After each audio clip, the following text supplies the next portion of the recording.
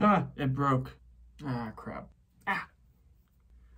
I got, I don't know if you can see it, a white hair. I'm getting old. I'm only 30 and I'm starting to get gray hairs and white hairs. Well, perfect. That uh, is perfect for transitioning to my next segment. Old skateboarding. Old skateboarding, Loki.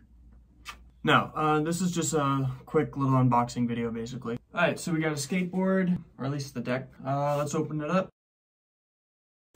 Come on, you.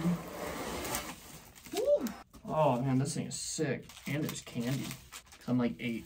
Well, actually, I'm old now. Wait, since I'm old, does that mean I can't enjoy candy? My gray beard? Oh my god, it's starting. Now I'll have to get into fishing and golf and cars and other old people's dad stuff. Yeah, I can do that. We got the Dave we got the Dave Andrecht 11 by 30. Okay, we got the Brand X Toxic Dave Andrecht. This board is the Red Stinger hand printed. I'm looking at the cam. I'm looking at my mom. video is so poorly made. It's a reissue of David Andrecht's old skateboard from like the late 70s or 80s. I don't remember exactly. 1980. You know, I'll just put the info here. There you go.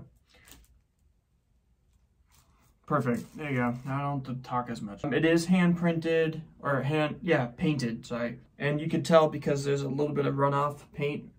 I don't know if you can see, yeah, right there. Which I don't mind, that just makes it more sick because I actually like screen printed stuff and the little blemishes add like character or something. Nine out of a 100. Definitely need to get a wall hanger for this one.